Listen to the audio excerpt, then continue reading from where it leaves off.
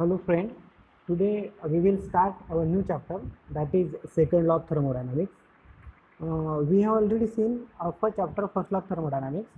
Uh, as you know, uh, first law of thermodynamics has some limitation that is uh, first law of thermodynamics alone cannot satisfy the condition.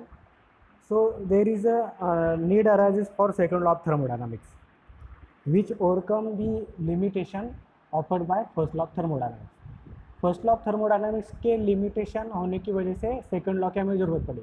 क्योंकि alone first law हमें ये नहीं बता पाता कि process किस direction में होगी या प्रोसेस पॉसिबल है या नहीं है। तो उसके लिए हमें सेकंड लॉ की ज़रूरत पड़ी, जो फ़र्स्ट लॉ के लिमिटेशन को ओवरकम कर रहा है। तो इन शॉर्ट हम ऐसे कह सकते कि अगर आधी प्रोसेस फ़र्स्ट और सेकंड लॉ दोनों को सेटिस्फाई करे, तभी वो प्रोसेस पॉसिबल है।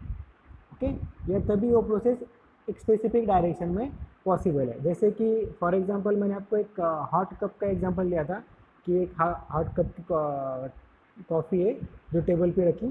तो उसमें दो पॉसिबिलिटी है कि वो हॉट कॉफ़ी अपनी हीट कोल्ड सराउंडिंग को देगा, या कोल्ड सराउंडिंग से हीट लेके हॉट रहेगा। अकॉर्डिंग टू फ़र्स्ट लॉ ये दो पॉसिबिलिटी है। ओके लेकिन नेचुरली यही पॉसिबल है। तो यही एक कंडीशन है जो फ़र्स्ट और सेकंड लॉ दोनों फुलफिल करती है। इसीलिए ये प्रोसेस इस डायरेक्शन में हैपन होगी। Okay second law in short क्या बताता है कि प्रोसेस किस डायरेक्शन में ऑकर करेगी। ओके इन शॉर्ट अगर एक छोटे लाइन में हमें सेकंड लॉ बोलना है तो हम बोल सकते हैं कि heat always flow from hot body to cold body okay heat हमेशा हॉट बॉडी से कोल्ड बॉडी की तरफ़ फ्लो होती है और ऑटोमेटिकली और नेचुरली कोल्ड बॉडी से हॉट बॉडी तक हीट फ्लो नहीं होगी। ओके तो अब बताओ फ़र्स्ट लॉ क्या होता कि एनर्जी एक्सचेंज होगी हॉट बॉडी से कोल्ड बॉडी को। ये ये तो ट्रू है। लेकिन सेकंड लॉ ने बताया कि हॉट बॉडी से कोल्ड बॉडी तक हीट जा रही है। तो इसीलिए जो कॉफ़ी है वो कुछ देर के बाद अपनी हीट सराउंडिंग को दे देगी और खुद कूल हो जाएँगे। मतलब इस डायरेक्शन में वो प्रोसेस होने वाली है। क्लियर तो देखो process occur when and only when it satisfy both the first and second law of thermodynamics तो उसके पहले थोड़ा बेसिक डेफिनेशन देखेंगे. Thermal energy reservoir thermal energy reservoir मतलब एक ऐसा हाइपोथेटिकल रिजर्वायर है कि जिसकी हीट कैपेसिटी इनफाइनाइट है. मतलब ये कितनी भी हीट को एक्यूमुलेट कर सकता है. ओके इसको, इसमें हमने हीट सप्लाई की या हीट रिजेक्ट की. तो इसके टेम्परेचर पे कोई भी फ़र्क नहीं पड़ता है। ओके फॉर एग्जांपल इसका एग्जांपल लेंगे अपन एक कोई लेक है या रिवर है। अगर रिवर में हम हॉट वाटर सप्लाई कर देंगे तो रिवर का टेम्परेचर बढ़ता नहीं रिवर वो हॉट वाटर को ऑक्यूपाई कर लेता है एक्यूमुलेट कर लेता है। Okay so in short thermal energy reserve thermal reserve reservoir क्या रहता है?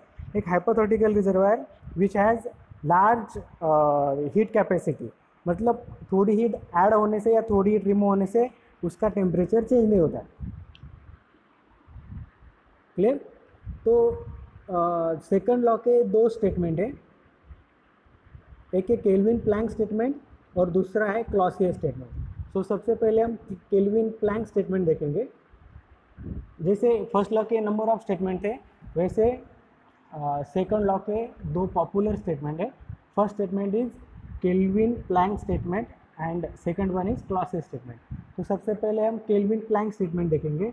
What Kelvin Planck statement tells that it is impossible for any device which operates on a cycle to receive heat from a single reservoir and produce net amount of work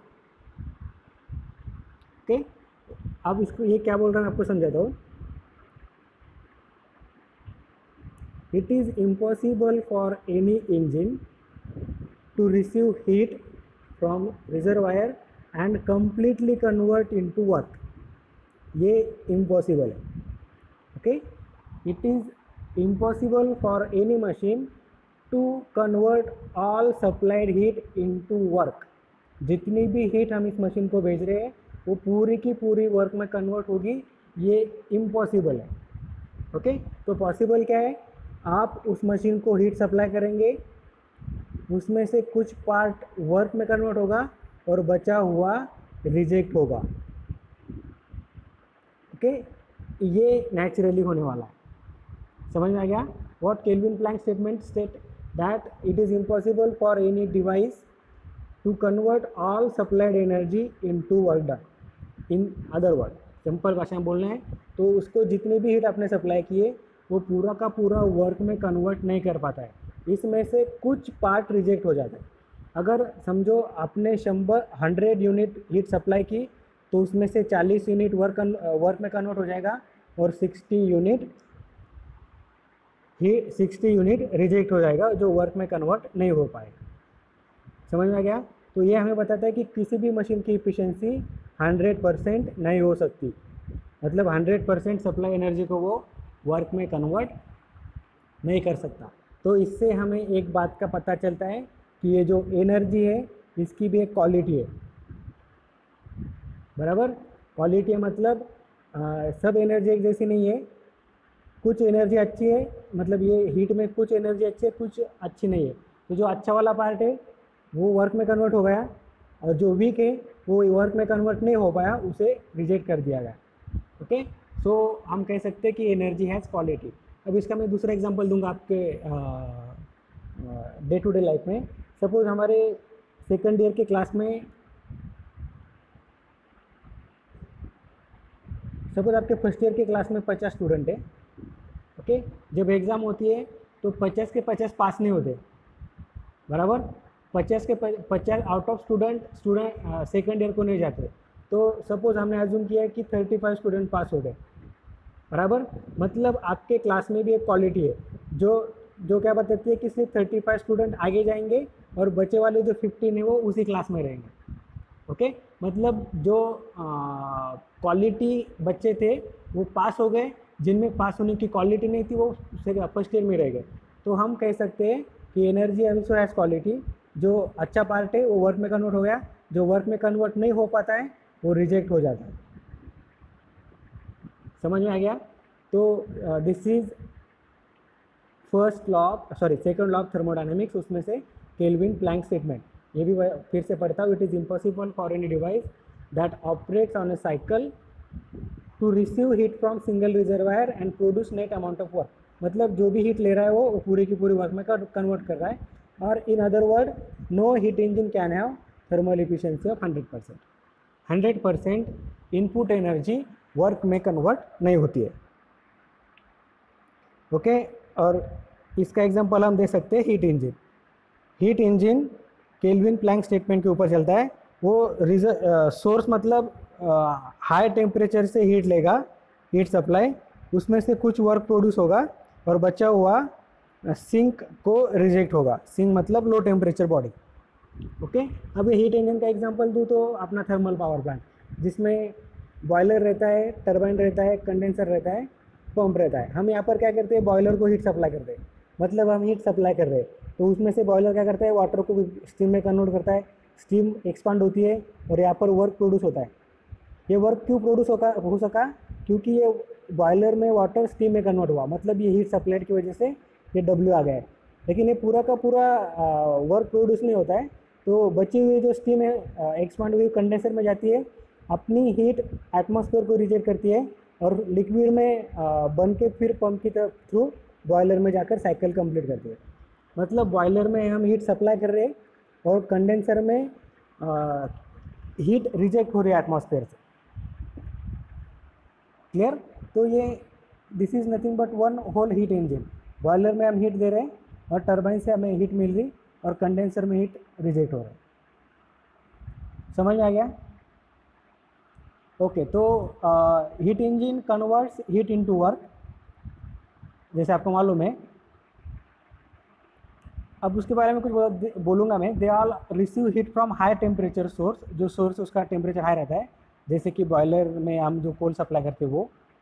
They convert part of this heat into work part of this heat बोला है। मतलब पूरी की पूरी heat work में convert नहीं होती है, क्योंकि हीट में क्वालिटी है।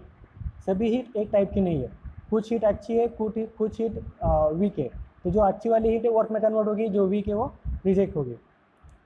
They reject remaining waste heat to the low temperature sink जैसे कि atmosphere they operate in cycle cycle complete हो गई ओके अब इसकी इफिशियंसी हम निकाल सकते हैं। Efficiency of heat engine efficiency क्या रहती है? Output upon input.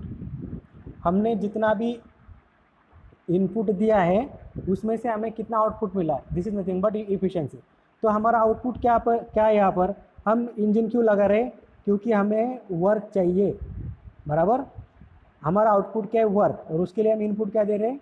Heat okay अब देखो यहाँ पर हमारा इनपुट है हीट और आउटपुट है वर्क ओके? तो आउटपुट मतलब वर्क, उसको लिखा मैंने ये डब्ल्यू और इनपुट है हीट सप्लाइड ओके? तो इधर देखो अभी this is heat supplied suppose Q S ये वर्क डन डब्ल्यू और ये क्यू आर जितनी, जो भी हम हीट सप्लाइड कर रहे हैं, उसमें से कुछ कुछ पार्ट वर्क में कन्वर्ट हो रहा है और बचा हुआ रिजेक्ट हो रहा है। मतलब हम ऐसे बोल सकते हैं Q S S equals to W plus Q R जितनी भी हीट हमने सप्लाई की, कुछ वर्क में कन्वर्ट हो गई, कुछ रिजेक्ट हो गई। मतलब डब्ल्यू को हम लिख सकते हैं Q S minus Q R बराबर? डब्ल्यू को यहाँ पर हमने लिखा, या efficiency equals to W upon Q S W को लिखा हमने Q S minus Q R upon या क्यू एस डिनोमीटर सेपरेट कर दिया हमें मिला one minus Q R upon Q S. ये हो गया इफिशेंसी ऑफ़ हीट इंजन या ये फार्मूला भी आप बोल सकते हैं efficiency of heat engine okay the thermal efficiency of work producing device are uh, जो पावर प्लांट है उसकी इफिशियंसी अराउंड फोर्टी परसेंट रहती है। मतलब अगर हमने हंड्रेड किलो जूल अगर हीट सप्लाई की तो उसमें से चालीस किलो जूल ही हमें वर्क मिलेगा। साठ किलो जूल एटमॉस्फेयर में रिजेक्ट हो जाएगा। ओके मतलब सेकंड लॉ हमें डायरेक्शन के बारे में बताता है कि किस डायरेक्शन में प्रोसेस हैपन होने वाली है। और दूसरी चीज़ वो हमें क्वालिटी के बारे में बताता है कि एनर्जी की क्वालिटी रहती है। हर एनर्जी एक टाइप की नहीं रहती है। अगर एनर्जी की क्वालिटी नहीं होती है। एनर्जी पूरी सेम रहती है तो पूरी की पूरी एनर्जी वर्क में कन्वर्ट हो जाती है। ओके नेक्स्ट पार्ट नेक्स्ट है सेकंड स्टेटमेंट है क्लॉसियस स्टेटमेंट क्लॉसियस स्टेटमेंट बताता है कि it is impossible to construct a device that operate in cycle and produce no effect other than transfer heat from lower temperature body to higher temperature body okay in short मैं इसको आपको explain करूँगा। It is impossible for any device ये हमारा low temperature device है और ये हमारा हाई टेम्परेचर डिवाइस है। इसको मैं एच बोलूँगा। High temperature low temperature so it is impossible for device to transfer heat from low temperature to high temperature without any help okay? मतलब आपने वो डिवाइस लगा दिया उसको आप कुछ वर्क वगैरह कुछ दे नहीं रहा है वो डिवाइस सिर्फ़ और वो आ, लो टेम्परेचर से हीट निकाल कर हाई टेम्परेचर को दे देगा okay so it is impossible for the device to supply heat from low temperature body to high temperature body without any external help मतलब जब तक हम इसको वर्क सप्लाई नहीं करेंगे इस डिवाइस को तब तक ये डिवाइस लो टेम्परेचर से हाई टेम्परेचर को हीट सप्लाई नहीं कर पाएगा। बराबर? जब तक हम इसको वर्क सप्लाई नहीं करेंगे, तब तक लो टेम्परेचर से हाई टेम्परेचर हीट फ्लो नहीं होगी। हीट कब फ्लो होगी? जब हम इसको वर्क सप्लाई करेंगे। इसका एग्जांपल दे, देना चाहूँ तो मैं दे सकता हूँ। रेफ्रिजरेटर जब तक आप रेफ्रिजरेटर को इलेक्ट्रिक वर्क नहीं देंगे, तब तक रेफ्रिजरेटर आपके चीज़ों को कूल नहीं रख पाएगा। रेफ्रिजरेटर क्या रख, क्या कहता है? उसके अंदर जो भी चीज़ें रखी है, उसकी हीट एटमॉस्फेयर को रिजेक्ट करता है। मतलब वो एटमॉस्फेयर से कूल है, फिर भी उसकी हीट निकाल कर एटमॉस्फेयर को दे रहा है। ये कब पॉसिबल होता है? जब आप इलेक्ट्रिक वर्क सप्लाई करते हो। ओके ऑटोमेटिकली तो लो टेम्परेचर से हाई टेम्परेचर हीट फ्लो होगी नहीं। हमारा एग्जांपल याद रखो हॉट कॉफ़ी है टेबल पे, वो ऑटोमेटिकली सराउंडिंग की हीट लेके हॉट नहीं रह सकती। क्योंकि हीट सराउंडिंग से हॉट कॉफ़ी की तरफ़ फ्लो नहीं होगी नेचुरली बराबर? उसे आपको वर्क देना पड़ेगा। मतलब जब आप रेफ्रिजरेटर या हीट पंप यूज़ करेंगे, तभी आप कोई चीज़ को हॉट मेंटेन कर सकते या कूल मेंटेन कर सकते। ओके तो it is very simple it is impossible to construct a device which transfer heat from low temperature to, it is impossible to construct a device which can transport heat from low temperature to high temperature without any external aid without any external help बराबर जब तक ये ये work done की help नहीं लेता है तब तक ये हीट इधर में ट्रांसफ़र नहीं होगी तो इसके दो एप्लीकेशन है रेफ्रिजरेटर और हीट पंप तो आ, इसको मैं आपको ठीक से दिखाता हूँ ये हो गया हमारा सोर्स मतलब हाई टेम्परेचर बॉडी ये हो गया रेफ्रिजरेटर और ये हो गया लो टेम्परेचर बॉडी इसको मैं सिंक बोलता हूँ ओके और रेफ्रिजरेटर को आप वर्क दे रहे ओके और दूसरा निकालता हूँ, ये हो गया सोर्स ये हो गया हीट पंप ये हो गया सिंक इसको हम वर्क दे रहे ये क्या है? हीट पंप तो ये क्या करेंगे? सिंक से हीट निकाल के सोर्स को सप्लाई करेंगे।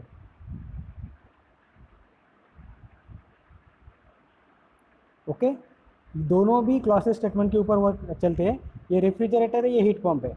दोनों भी क्या करते हैं? लो टेम्परेचर से हीट निकाल कर हाई टेम्परेचर को सप्लाई करते हैं बाय यूजिंग वर्क डन तो आप इन दोनों को कैसे डिफर कर पाओगे? तो हमेशा याद रखो, जब हमें कोई भी चीज़ कूल मेंटेन करनी होती है, तब हम रेफ्रिजरेटर यूज़ करेंगे। मतलब अगर हमें इस सिंक को चार डिग्री सेल्सियस पे मेंटेन करना है ओके तो रेफ्रिजरेटर क्या करेगा? उतना ही वर्क लेके इसको चार डिग्री सेल्सियस पे मेंटेन करेगा।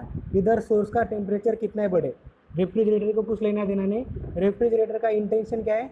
सिर्फ़ लो बॉडी टेम्परेचर को कूल मेंटेन करना है, जो स्पेसिफाइड कंडीशन है उसके ऊपर ओके उसे सोर्स के साथ में कुछ लेना देना नहीं कि उसका टेम्परेचर कितना बढ़ता है ओके और हीट पंप का इंटेंशन क्या है? हीट पंप हॉट बॉडी को हॉट मेंटेन करता है। मतलब इस वो कोल्ड बॉडी से हीट निकालेगा और सपोज़ हमें इसको 60 डिग्री मेंटेन करना है। तो हीट पंप इधर से कितनी भी हीट निकालेगा, लेकिन इसको 60 डिग्री मेंटेन करेगा। Okay?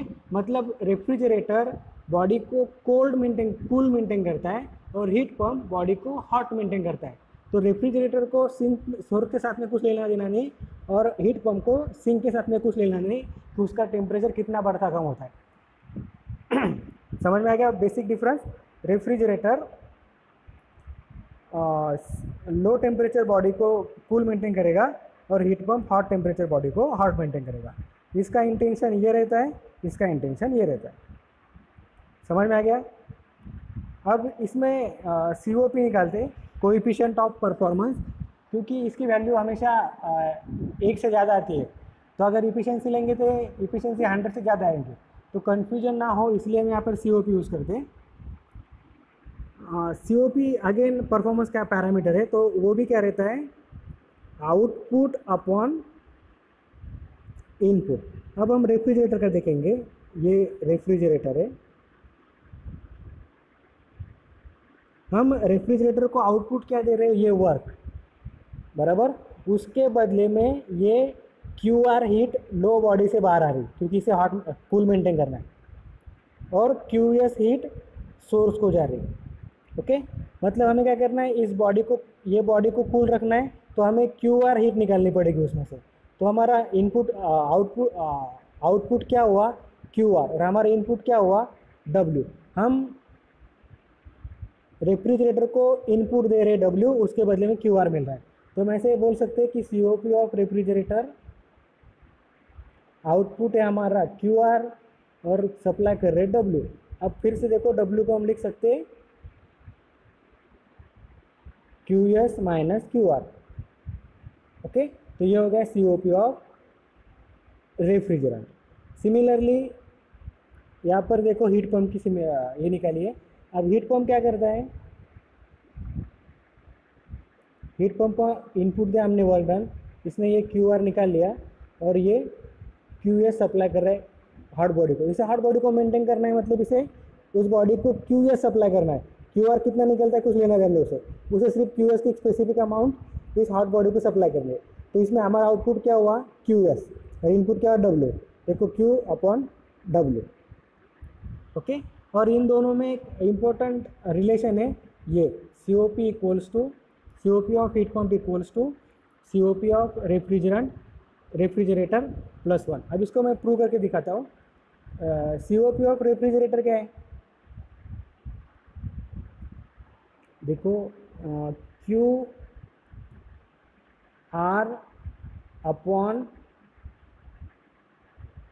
Q S minus Q R. इसमें अगर हम वन मिलाते तो ये क्या होगा? ये आ, हम इसका डिनोमिनेटर सेपरेट करने क्रॉस मल्टीप्लिकेशन करेंगे।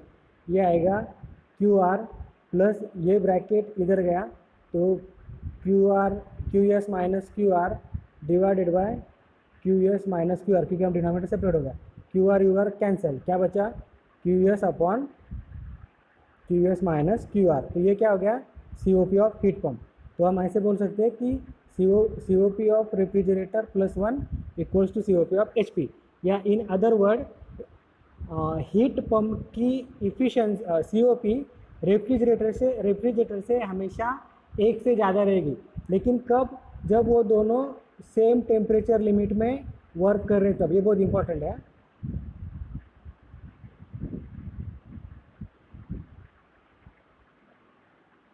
ये रेफ्रिजरेटर है और ये हीट पंप है। इसका टेम्परेचर सपोज़ टी वन है, इसका टेम्परेचर टी टू है, इसका टेम्परेचर टी वन है, इसका टेम्परेचर टी टू है। जब टेम्परेचर लिमिट सेम रहेगी, जब टेम्परेचर लिमिट सेम रहेगी, तब हीट पंप की सी ओ पी रेफ्रिजरेटर के सी ओ पी से एक से ज़्यादा रहेगी। मतलब इस केस में अगर रेफ्रिजरेटर की सी ओ पी तीन है तो इस केस में ऑटोमेटिकली चार रहेगी। कब? जब दोनों सेम टेम्परेचर लिमिट में काम कर रहे क्लियर तो ये होगा, आज हमने हीट इंजन रेफ्रिजरेटर और C O P H P heat pump देगा नेक्स्ट लेक्चर में हम इक्वी इक्विवेलेंस देखेंगे। Okay thank you